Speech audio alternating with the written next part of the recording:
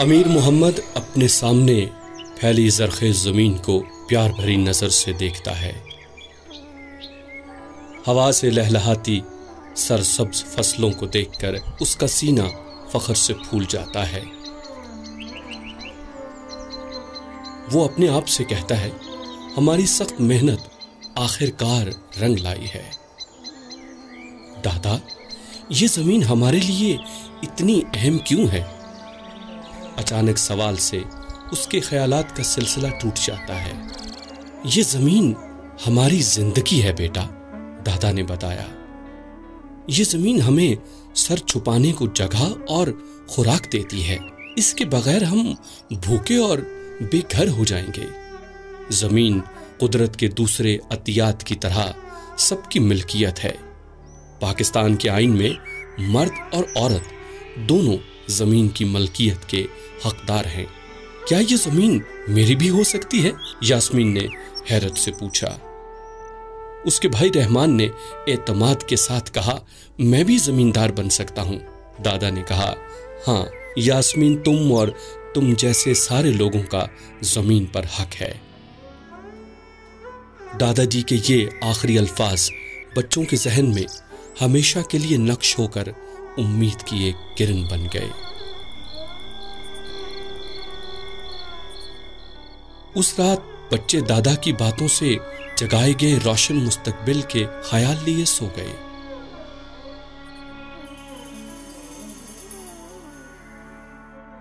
लेकिन किस्मत ने एक तलख मोड़ लिया और उनके सारे हसीन ख्वाब बिखर गए। सारी उम्मीदें धुंधला गईं।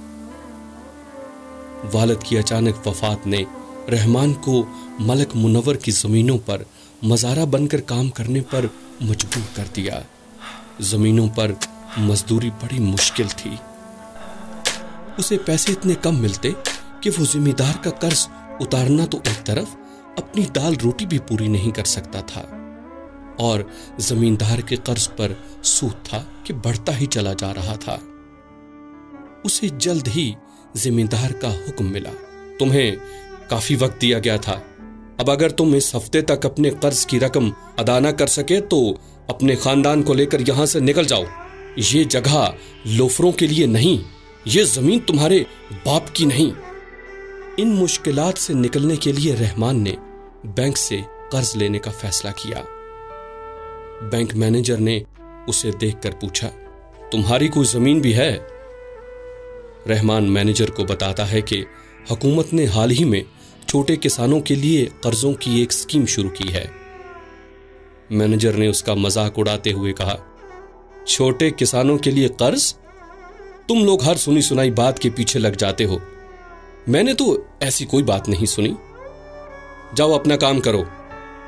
रहमान जब वापस जाने के लिए मुड़ा तो उसने मलक मुनवर को बैंक के अंदर आते देखा। बैंक मैनेजर फ़ौरन उसके इस्तकबाल को दौड़ा और उसे गर्म जोशी से अपने दफ्तर ले गया। मलक मुनवर की कर्ज की दरख्वास्त देखते ही चहक कर कहने लगा, मलिक साहब, आप तो हमारे मुआज गाहक हैं। आप फ़िक्र ही ना करें, समझें आपका काम बस हो गया। इस बात पर रहमान मायूसी के आलम में बैंक से निकल गया। इसी असना में यास्मीन भी अपनी ज़िंदगी की जंग लड़ रही थी। वो तीन बच्चों की पैदाइश के बाद बेवगी की ज़िंदगी गुजार रही थी। बच्चों को पालने के लिए वो बिल्कुल अकेली थी। ज़िंदा रहने की जिद्दोजहद और घरेलू जिम्मेदारियों ने उसे करीब के खेतों से कपास चुनने की मजदूरी पर लगा दिया। इस तरह उसे कुछ पैसे मिल जाते थे। एक शाम रेडियो पर यास्मीन ने हुकूमत सिंध की तरफ़ से गरीब हारियों को ज़मीन के मालकाना हकूक देने के बारे में सुना। इस खबर ने उसके बचपन के ख्वाबों को ज़िंदा कर दिया वो अपने भाई की तरफ़ भागी और इसे खुशी से चिल्लाते हुए कहा, क्या तुमने सुना हुकूमत गरीब, बेजमीन औरतों को जमीनें दे रही है इसी उम्मीद के सहारे उन्होंने दरख्वास्त देने का इरादा किया ज़मीन की निशानदही कर दूँ? हैं? तहसीलदार ने यास्मीन के मलकियत ज़मीन के कागजात को हकारत बरी नज़रों से देखते हुए कहा तुम इसे आसान समझते हो। ऐसे कामों में बहुत वक्त लगता है। वो रहमान और यास्मीन को परेशान खड़ा छोड़कर चला जाता है। इनकी बातें सुनने वाला एक आदमी इन दोनों को एक तरफ़ ले जाके कहता है कि अगर वो अपना काम कराना चाहते हैं तो इस अफसर को कुछ रिश्वत देना पड़ेगी। यहाँ तो ऐसे ही काम होगा।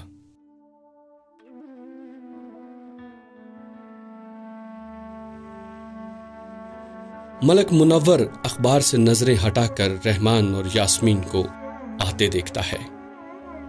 मैं क्या सुन रहा हूँ? मेरे अपने ही लोग मेरे खिलाफ हो गए हैं। वो उन्हें डांट कर कहता है, अगर तुम्हें किसी चीज़ की ज़रूरत थी तो मुझसे कहते। इन हुकूमती चक्रों में पड़ने की क्या ज़रूरत थी? गौर से सुनो, तुम्हारी ज़मीन की मैं तुम्हें अच्छी कीमत दे सकता हूँ। मलक मुनवर ने उन्हें लालच दिया। यह सुनकर यास्मीन आगे बढ़ी और कहा, हमें आपके पैसे नहीं चाहिए। मलक साहब, ये ज़मीन हमारा तहफ़ है। हम पैसों का क्या करेंगे? एक दफ़ा खर्च हो गए तो हम फिर किसी के रहमो करम पर होंगे। मलक उन्हें घर से निकाल देता है और वो दोनों अपने घर लौट आते हैं, नाउमीदी और बोझल दिल के साथ।